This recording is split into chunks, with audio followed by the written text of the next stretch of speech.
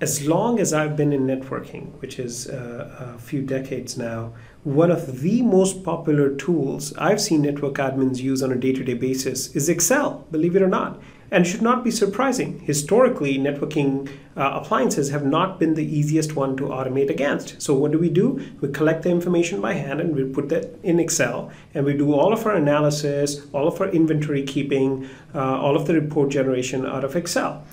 But now there's a next generation of networking tools and software that's available that is much more software defined, that is built for automation, that has amazing and 100% REST API, and most importantly, that has uh, control, typically controller based or centrally managed architectures that allow you to talk to a single endpoint with an API that then collects data from hundreds of end devices potentially. A great example of this is Avi's software. So Avi's software is essentially an elastic platform which could have hundreds of load balancers that all come together as one elastic load balancer.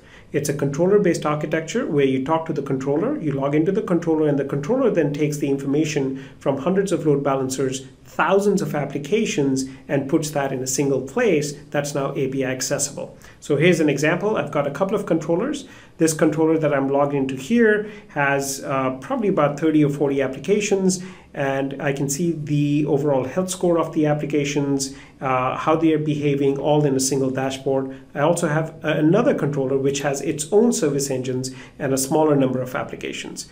And what I want to share with you is something that one of our customers shared with us where um, they came from an Excel or a spreadsheet heavy background and we were trying to uh, convince them to move to a more API driven environment. And this is how the two worlds came together in just a few clicks. This is how easy it can be to bring the power of Excel's uh, data analytics capabilities to a well designed um, API driven architecture. So two uh, systems here. Let's look at the first system in a little bit more detail. All of this data that you see on my screen, it's just the UI calling a few REST API. So before this call, I had actually looked up this API uh, as to what's the API that the browser is making. And this is essentially the API that goes out. It's the controller's IP address or DNS name uh, followed by slash API slash virtual service dash inventory. And I'm asking you to return at a minimum 50 before it goes to the next page. And of course, for every application, I see runtime and configuration information in a nice little JSON blob. Now, for those of you who are comfortable doing Python programming, Ansible, etc., this is heaven.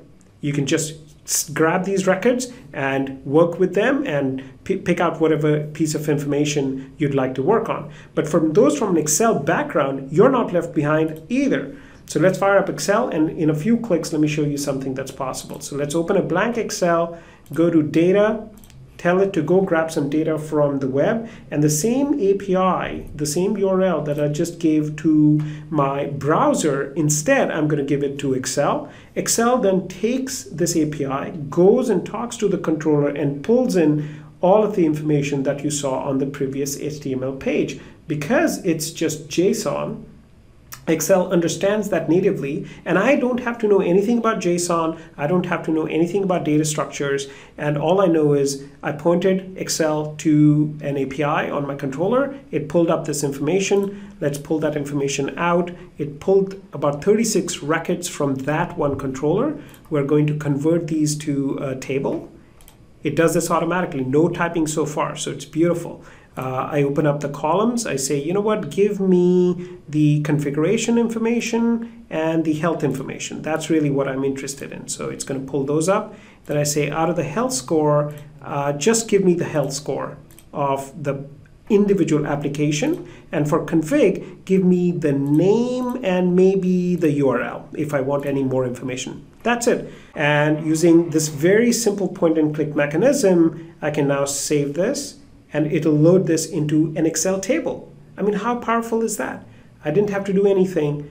All I did was make an API call natively out of the system, didn't have to sing, write a single line of code, zero code automation, and Excel now is live linked to my controller. And you know, I showed you I have a couple of controls. You want to do the same thing for multiple controllers. You can see about 36 rows here. Let's just copy this. So we'll say duplicate and it fires up another query automatically. And all I do is go to the source and change the source to a different controller. So in this case, I will say, please go to uh, a different DNS for the controller. So same call, same everything. I'm simply going to a different controller and gathering information in the same way. And when I do that, you can see here, it's now gone to a separate controller and loaded that information.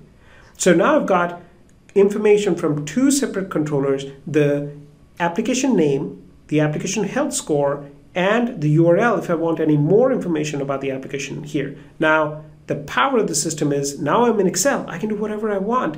I can combine these two tables. So let's do that. Let's append to this table uh, the second table. So we'll say, please append. And it says, okay, you've got this first table. What's the second table? And of course, I duplicate it. So it's right here.